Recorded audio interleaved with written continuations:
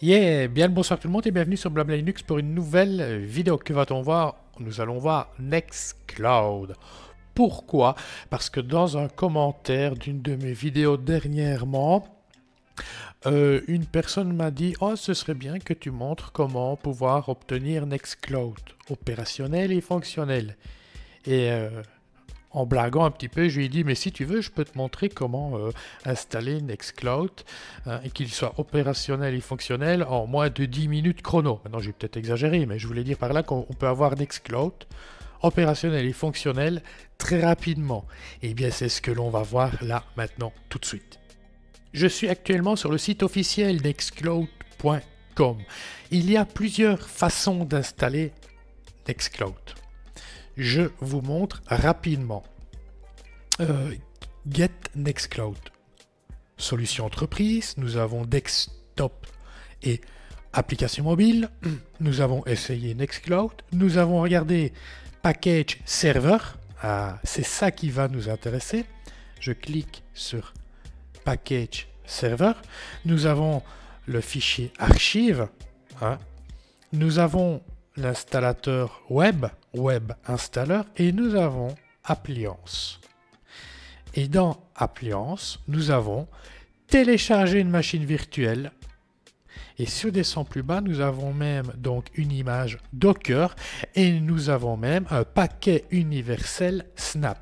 Ce qui va nous intéresser aujourd'hui, hein, eh bien c'est la machine virtuelle. Donc nous allons télécharger la machine virtuelle voilà, j'enregistre le fichier. C'est une archive zip, on peut voir, official Nextcloud VM. Donc, enregistrer. Enregistrer. Et il n'y a plus qu'à patienter. Je suis dans mon gestionnaire de fichiers onglet téléchargement, on peut voir l'archive. Donc l'archive, clic droit, propriété, l'archive qui pèse 1,6 Go. Nous allons la décompresser. Clic droit, extraire ici. On obtient un répertoire du même nom. Et on patiente. Alors, si on rentre donc dans le répertoire, on peut voir que l'on a un fichier .mf, un fichier .ovf, on a deux fichiers .vmdk qui sont les disques virtuels, hein. on a deux disques virtuels. Le fichier le plus important ici pour nous c'est le .ovf, c'est ce fichier-là qui va nous permettre d'importer la machine virtuelle dans VirtualBox, dans VMware. Vous allez voir, on va l'importer dans les deux, mais voilà, je ne vais ensuite je vais continuer qu'avec un des deux logiciels. Ok. Euh, première chose, on n'a plus besoin de l'archive, donc clic droit, déplacer dans la corbeille. Je vais d'abord l'importer dans VirtualBox. Donc, importer. Je sélectionne mon fichier .ovf. Voilà, double-clic. Suivant. Exprès, je ne vais rien modifier. OK. Euh, je ne vais rien modifier. Option supplémentaire, apporter les disques durs comme VDI. Ok. Donc, je ne modifie rien. Importer. On laisse faire. Vous allez voir, ça va aller, ça va aller assez vite. Voilà. Il y a juste une petite chose que j'aimerais bien vérifier. Euh, que j'aimerais bien vérifier. Détail.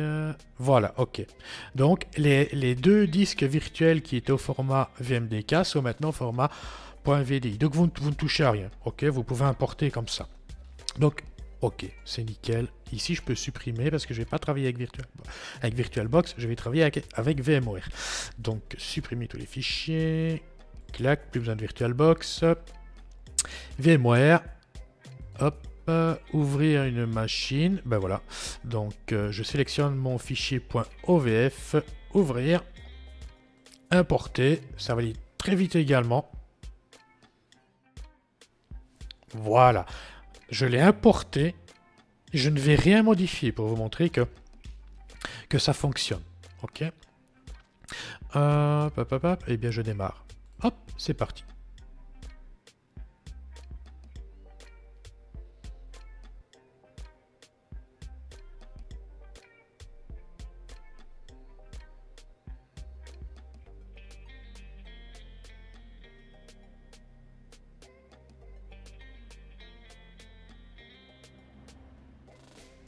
Alors, Ubuntu 20.04, Nextcloud, TTY1.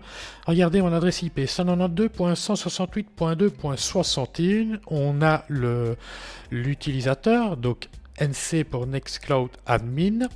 Et on a le, le, mot de passe pour cet utilisateur qui est Nextcloud. Je vais utiliser une instance terminale parce que je vais me connecter en SSH. Donc SSH. Alors l'utilisateur c'est nc admin l'adresse IP donc 192.168.2.61 je fais euh, je fais yes voilà et le mot de passe eh bien c'est Nextcloud et regardez comment on est accueilli. C'est chouette, hein Alors, euh, de nouveau le mot de passe. Donc, euh, Nextcloud. Voilà. Et on laisse faire. OK.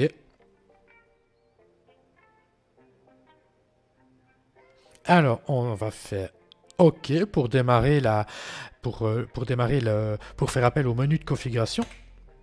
Alors là, il nous propose de modifier donc euh, l'entrée clavier, la time zone, euh, de, modifier donc euh, de choisir un autre miroir de téléchargement. Par défaut, regardez ce qui est coché, donc configuration, donc entrée clavier, time zone. On va laisser comme ça. OK. Alors il m'a dit que pour l'instant, donc j'utilise l'entrée clavier US. OK. Est-ce que je vais le changer? Oui. Alors, Générique 105 touches, ok. Alors, moi je veux... Je veux... Je veux du... Du belge, s'il vous plaît. Voilà. Voilà. Voilà. Voilà. Quand je dis voilà, c'est... C'est ok, hein. Entrée, enter.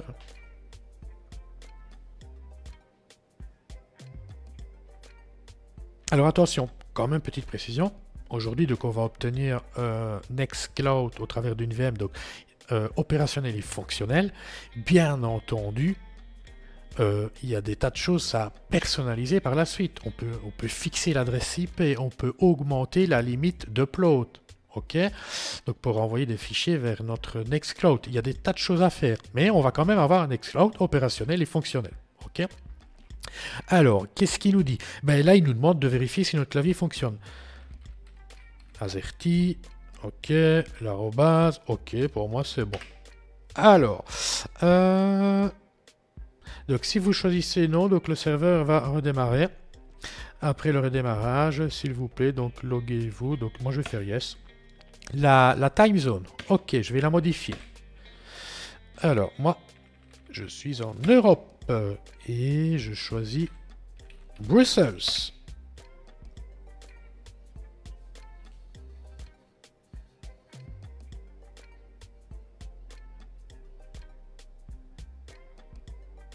Alors, il nous dit par sécurité, est-ce que vous voulez donc changer le, mot de passe, le, mot de passe CLI donc de l'utilisateur d'Ubuntu? Ok, oui, je vais le changer. Donc là, il nous demande d'entrer le nouveau mot de passe. Je rentre le nouveau mot de passe. Est-ce que c'est correct? Oui. Ok. Là, il nous demande si on veut changer donc le, nom utilisateur et le password pour l'instance web admin de Nextcloud. Ok. Euh, ok, ben là je vais tout simplement mettre, euh, je sais pas moi, Amaury. Voilà, ok. Oui, c'est correct. Maintenant, il me demande le mot de passe. Hein. Voilà, il me demande si c'est correct. Ok. Voilà, petit récapitulatif, ok, tout est bon.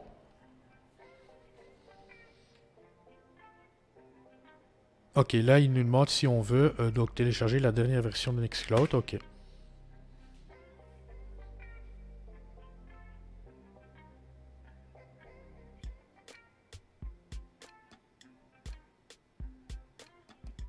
Oui, donc la version qu'on utilise c'est la 20.0.3.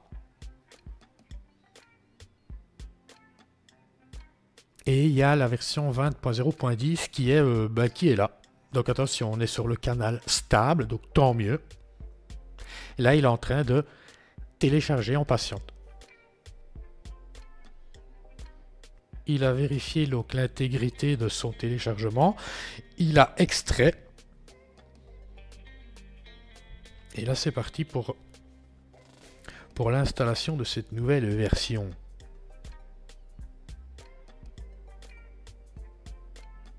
Voilà, donc congratulations, donc vous avez installé donc Nextcloud euh, eh bien correctement. Petit récapitulatif, donc pour vous loguer, donc à Nextcloud dans votre navigateur, donc l'IP 192.168.2.161 pour moi, ok.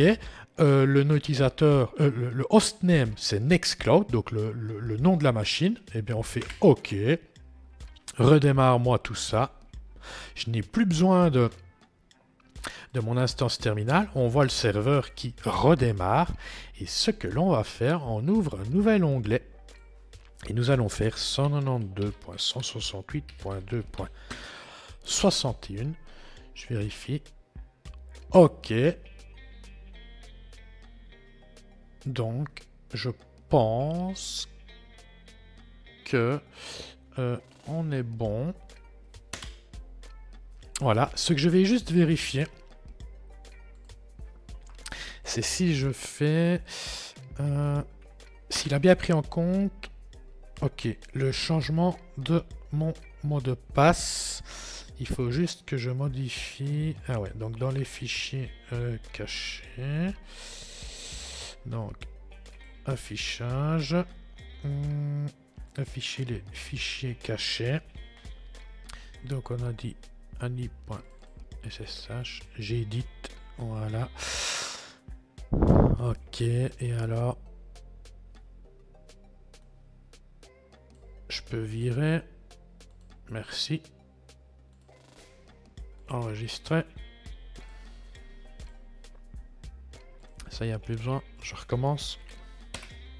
Ok, yes.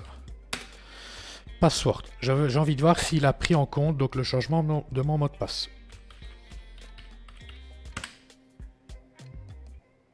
Ok, c'est bon. Là, regardez, quand vous arrivez, euh, quand vous vous connectez en SSH, vous arrivez sur cet écran. Ok. Donc on peut voir l'adresse euh, IPv4 WAN, l'adresse la, peste, l'adresse IPv4 LAN. Il n'y a pas d'adresse WAN IPv6. Ok? Si vous voulez euh, donc ne plus avoir accès à cet écran lorsque vous vous loguez, regardez ce qui est mentionné. Donc vous supprimez hein, le welcome.sh qui se trouve dans slash var slash script. Ok? C'est bon.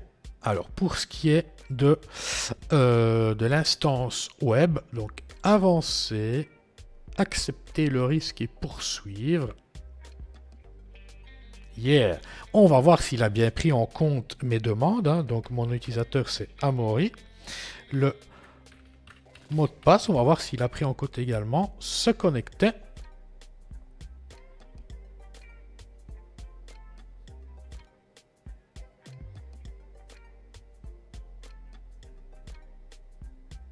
Hier. Je pense que tout est opérationnel et fonctionnel. Regardez, définir un statut. Ok. Définir l'emplacement pour la météo, détecter la position, autoriser. Voilà, ciel dégagé. Génial. Euh, mais voilà, je pense que je pense qu'on est bon. Hein. Tableau de bord. Ah, le tableau de bord, c'est ça. Ok. Oui, oui, j'ai dit euh, autoriser. Voilà. Alors, nous avons les fichiers. Voilà. Nous avons les photos. Nous avons les activités. Tiens, on va voir en fait si tout fonctionne quand même. Euh, donc je me rends dans fichier. Alors, document.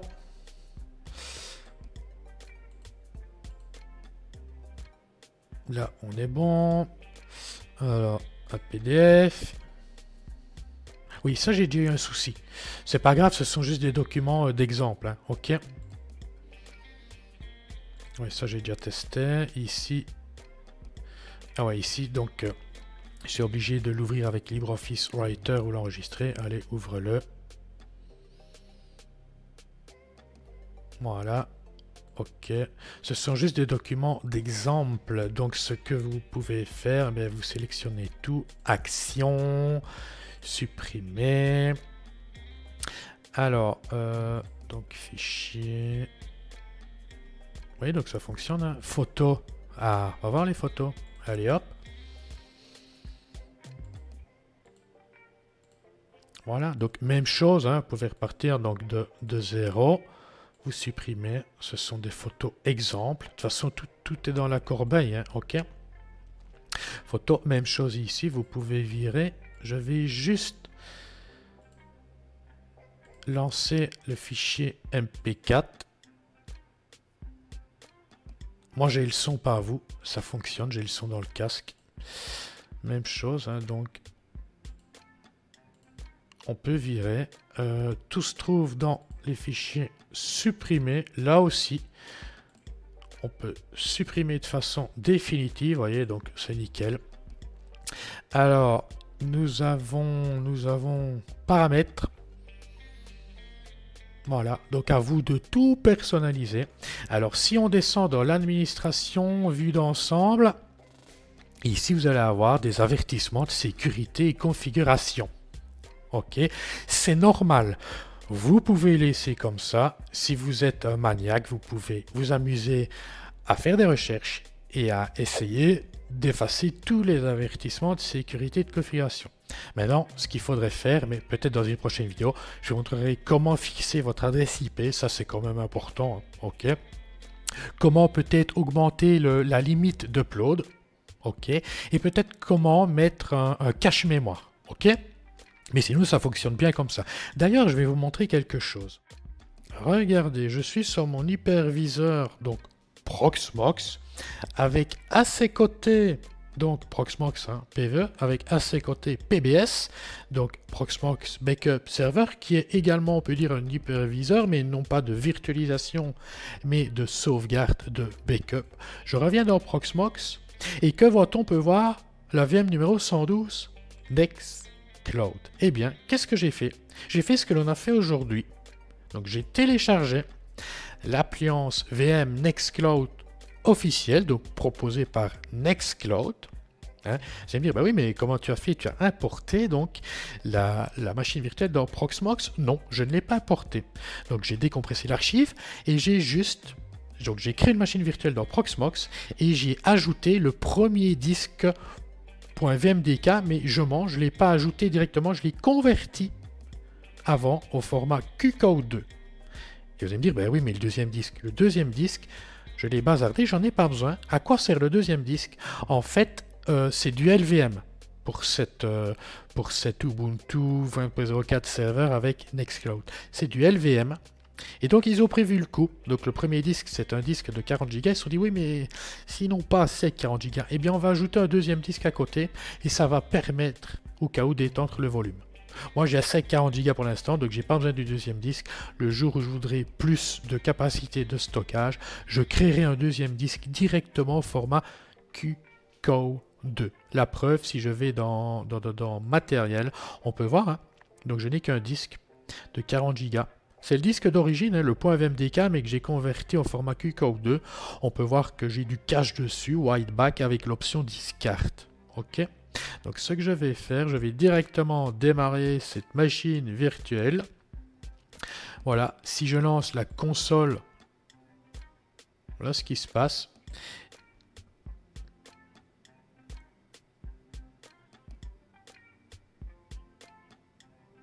Et je vais fermer la console. Et, et, je vais rentrer l'adresse IP 192.168.2.235. C'est bon. Le nom utilisateur, le mot de passe, se connecter.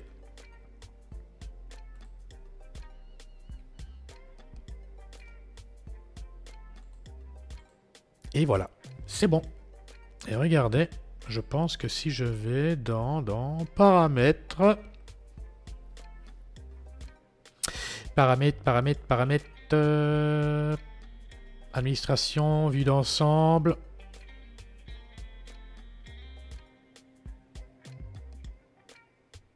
Voilà. Donc, ouais. Je voulais vous montrer qu'il n'y avait aucune erreur, mais ici, la dernière tâche de fond a fonctionné il y a 4 jours. Quelque chose s'est mal passé. Ouais, c'est pas une erreur. Voilà, mon serveur était fermé. Ok, donc vous voyez, tout, tout fonctionne. Alors, j'ai envie d'être gentil, je vais quand même vous montrer rapidement comment fixer l'adresse IP de votre serveur Nextcloud. Donc pour cela, nous allons rentrer dans notre serveur via SSH. C'est toujours mieux. Donc le nom utilisateur c'est ncadmin l'adresse IP actuellement utilisée donc par le serveur. Le mot de passe du seigneur qui va bien. Le script se lance. Ok, comme je vous l'ai dit, vous pouvez l'effacer. On va faire euh, clear. Première chose, nous allons, élever les droits. Nous allons faire sudo sudo netplan. Voilà, on va générer un fichier euh, de configuration netplan. Voilà, mot de passe du seigneur qui va bien. Ensuite, ensuite, ensuite, nous allons faire un cd slash etc slash netplan, je liste, on peut voir que j'ai un fichier euh, YAML qui commence par double 0, donc je vais faire sudo nano, nano, voilà, et j'édite donc le fichier .yaml. Et ce que l'on va faire, j'ai déjà tout préparé pour vous, vous allez voir. Mais retenez une chose, c'est que ici, regardez, DHCP4 euh, est activé. Donc c'est une adresse IP dynamique en LAN que vous avez. OK Donc ce que je fais, euh, je vais tout virer. Allez hop, soyons fous. Et je vais vous montrer un exemple de, de configuration pour obtenir une adresse IP, donc LAN, non plus dynamique, mais statique. Ok? Et j'ai fait une connerie. J'ai fait une connerie parce que regardez. Euh, j'ai fait une connerie. Ce que je vais faire, je vais relancer une instance. Voilà. Il me faut le nom. Donc, mon adaptateur euh, IP espace AD. Donc, moi, c'est, c'est, c'est, c'est, c'est, voilà, ENS 32. Oh, J'ai pas besoin de faire un copier-coller. Voilà. Donc, euh, network, Ethernet, euh, le nom de l'adaptateur réseau. OK. Quelle adresse on veut? En statique, LAN. Ici, moi, je vais dire que je veux la Mettons la 45. On met le masque. OK? Gateway. Donc, euh, l'adresse IP du routeur. OK? Alors ensuite, qu'est-ce qu'on spécifie comme adresse? L'adresse DNS, moi j'en ai mis 4. 195.238.2.21, 195.238.2.22 qui sont les DNS officiels de Proximus. Ensuite en 3, les adresses DNS de hum, Google, 8, 8, 8, 8, 8, 8, 8, 8, ouais, et 8, 8, 4, 4. Ok Et normalement, on est bon. On est bon. On fait un CTRL X pour sauvegarder, Y pour confirmer, Enter ou Enter pour valider. Ensuite, on va faire, euh, on va faire, on va faire, on va faire, je sais plus. Euh, sudo, sudo, netplan, apply si je fais... Là, normalement, voilà, je n'ai plus rien, on est d'accord. Donc, si je vais chercher la 45, voilà, yes. Mot de passe du Seigneur qui va bien. Ok, si je fais un IP AD, on peut voir que je suis en point 2.45. Ok. Voilà, donc c'est bon. Et euh, ouais, c'est bon. Et si je redémarre, donc regardez, je vais faire un sudo reboot. Donc je redémarre mon serveur Nextcloud. On va attendre qu'il redémarre. Voilà, il redémarre. Hein.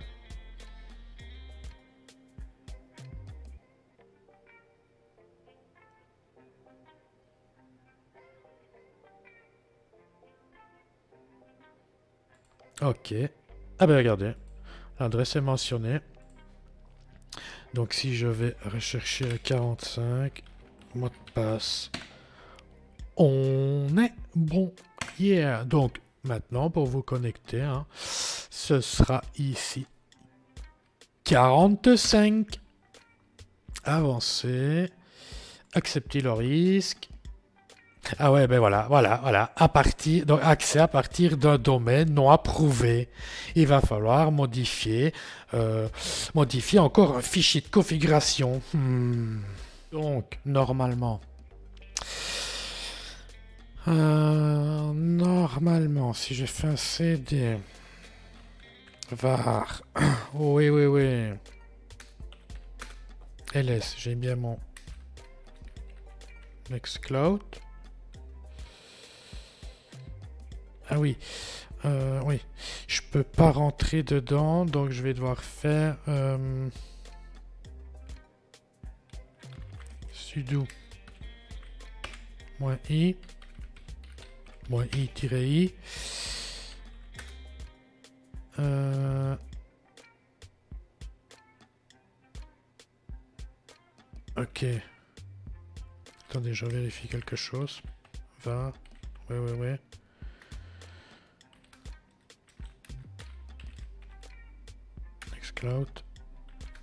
Voilà, ça va bien. Vous avez suivi? Euh, Est-ce que j'ai mon config? Oui, cd config. Alors, j'ai voilà, j'ai mon config.php, c'est lui que je voulais. Donc si je fais nano config.php, alors voilà, trusted domain. Alors,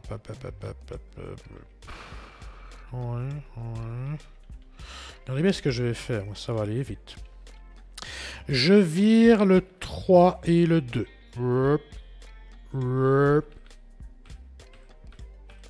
Alors normalement ici, je pourrais mettre 45. Mais ça veut dire que la prochaine fois, on ne sait jamais, hein, je fixerai une autre IP, eh ben, rebelote, même souci. Donc ici, je vais mettre un une étoile. Ce qui veut dire que toutes les adresses IP de mon réseau local peuvent se connecter. Ok Voilà. Je pense que c'est bon. Regardez, c'est génial, vous avez donc euh, la, euh, la, base de données, hein, Nextcloud. Donc l'utilisateur, donc NC euh, admin. Password de la base de données, vous avez tout. Euh, donc si je fais un CTRL X. Euh, yes. Voilà. Et est-ce que je peux déjà, si je fais ça? Oui, ça passe. Bah voilà, j'aurais montré plusieurs trucs, c'était pas prévu. Tant pis.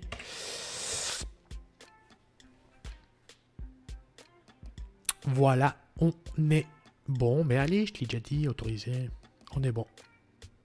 Splendide, splendide. Est-ce qu'on peut vite uploader quelque chose? Est-ce qu'on peut uploader quelque chose? Si je vais dans... Donc dans, dans, dans, photo, que je fais plus, envoyer un fichier, image, Annie, ouvrir. Oui, splendide. Allez, moi je vous laisse. Et une prochaine. Bye bye.